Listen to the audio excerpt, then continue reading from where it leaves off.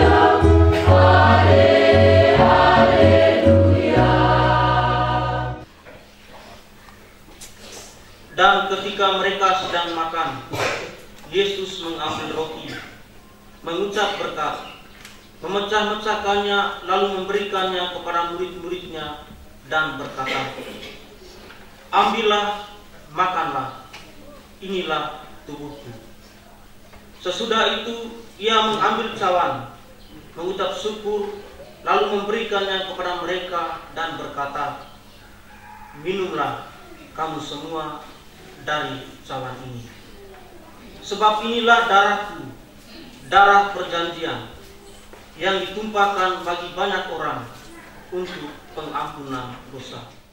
Selamat pagi anak-anak. Selamat pagi.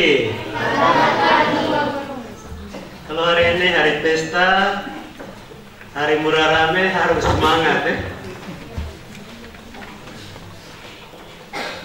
Tadi saya tanya, saya sudah diberitahu ada 18 anak. Tapi saya tidak tahu laki-laki berapa, perempuan berapa. Ternyata seimbang. Orang bilang benar. Jadi sembilan uh, putra dan sembilan putri. Tadi saya beritahu mereka bilang begini. Uh, dari 18, 9 putra, 9 putri Semoga saja ada yang mau masuk suster Mau jadi romo eh, Mau jadi frater, mau jadi bruder Bisa tidak tuh? Anak-anak Bisakah tidak? Bisa Jawab itu yang pasti ini jawab ini macam sementara punya daging ini. Ini pikiran sudah mulai menghayal ke mana tempat saya juga tidak tahu lagi ini. Bisa tahu? Kamu jawab yang pasti sebab saya pulang juga sebentar itu bawa kegembiraan dari Ida Lolong. Kalau tidak saya pulang itu apa namanya tidak semangat dan saya mau datang lagi. Kalau datang lihat kamu begini. Bang Mama, bagaimana? Kalau mereka mau ke sana, bagaimana? Kamu berikan tidak itu? Eh? Berikan tidak? Beri. Beri tetapi masih pikir eh, saya ini nanti terima gaji tidak ini? Itu kalau kita mau beri itu kita mesti pikir segala sesuatunya itu setengah-setengah tapi seutuhnya segenap jiwa raganya kita merayakan perayaan sakramen Ekaristi. Itu berarti kita merayakan keselamatan kita. Tuhan Yesus beri dirinya untuk kita dalam Ekaristi itu untuk keselamatan kita. Baik kita yang sedang di sini dalam perjalanan maupun juga kelak nanti kita meninggal dunia. Bacaan-bacaan tadi itu bagus kalau kita dengar dan kita renungkan dengan baik. Bagaimana kalau darah itu ditumpahkan dan diminum dari satu cawan?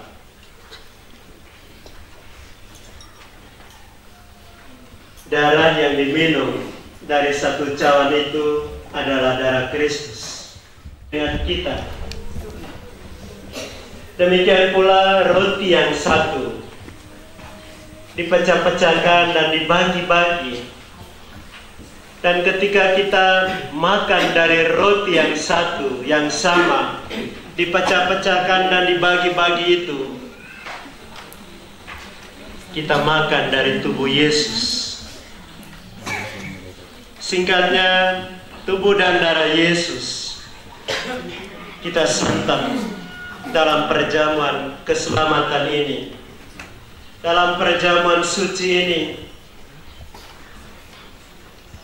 Dan kita ingat ketika malam perjamuan terakhir di teks lain, Tuhan Yesus sendiri omong kepada para muridnya dan juga diulangi terus menerus setiap kali kita merayakan perayaan keselamatan, perayaan Ekaristi. Inilah tubuhku ambilan secara gratis, cuma-cuma tanpa minta bayaran sedikit pun.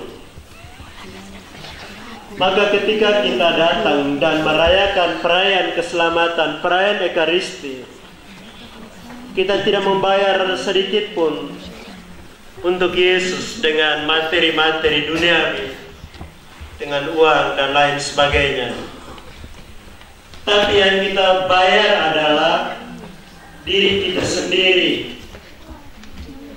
Kalau Tuhan Yesus sudah bayar dosa kita dengan dirinya sendiri, mulai dari kalau kita beri diri kita kepada Yesus, itu beri diri dengan segenap jiwa raga kita, dengan seluruh diri kita untuk total tanpa syarat, tanpa syarat apa pun.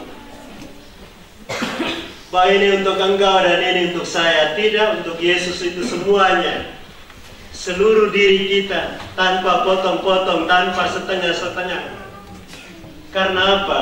Dia sudah tunjukkan itu untuk kita. Dia tidak beri kita itu setengah-setengah atau tidak total atau dengan syarat tertentu.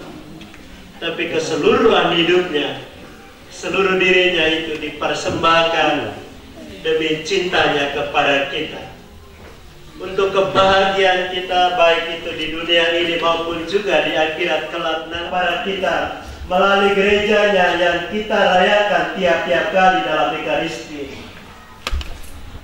Tiap-tiap kali kita merayakan Ekaristi kita mengenangkan hidup Yesus, wafat dan kebangkitannya Daya kekuatan itu diberikan oleh Allah kepada kita melalui putranya yang terkasih, Tuhan kita Yesus Kristus. Dan itu menjadi pegangan untuk kita, menjadi bekal bagi kita dalam perjalanan ini, dan lebih lagi menjadi kekuatan untuk jiwa kita, kekuatan untuk hidup jiwa kita. Sumbernya dari sini. Maka kita selalu katakan begini bahwa Ekaristi itu adalah sumber dari hidup kita. Hidup kita dengan segala macam suka duka pengalaman yang ada di dalamnya itu bersumber pada Ekaristi. Berpusat pada Ekaristi dan kemudian itu berpuncak pada Ekaristi.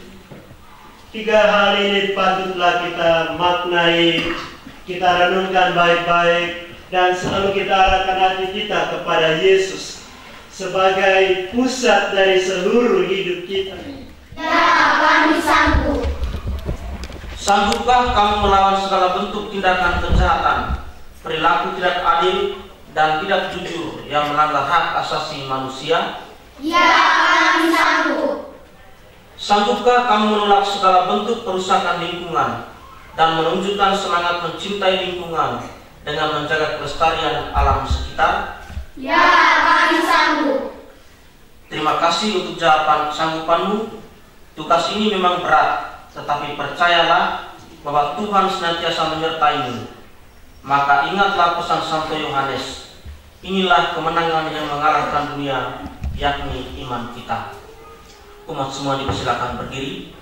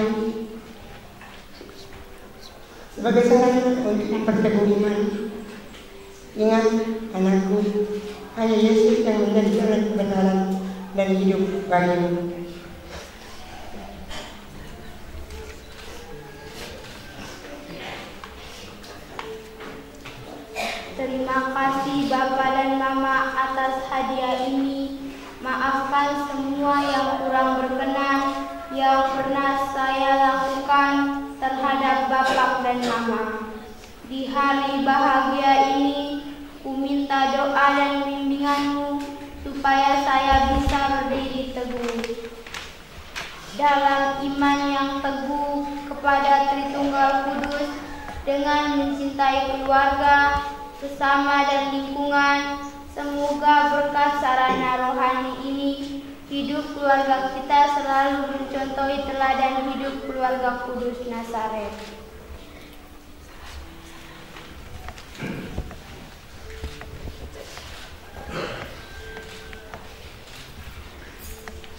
Termaria Angela, papang CSM. Uh, eh, saya sudah 20 tahun di ziarah, 15 tahun menjadi suster, sekarang bertugas di Itali. Uh, sejak tiga tahun menganggur di seperti orang-orang lupa-lupa ingat. Terima kasih. Terima kasih atas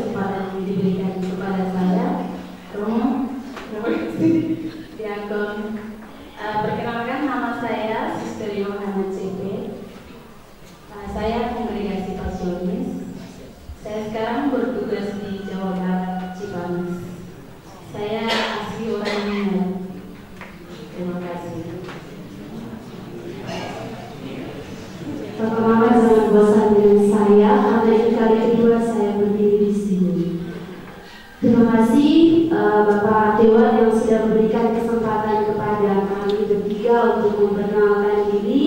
saya sudah dikenal di sini. Saya putri pertama dari Akmal Bapak Kaji Sekolah bangkitin Saya sekarang tugas di Maumere. Nama saya Suster Renata PIJ, Operistik Artis Yesu, Pak Suster dan Kalangan Yesus yang Miskin. Dulu sering dipanggil Inami.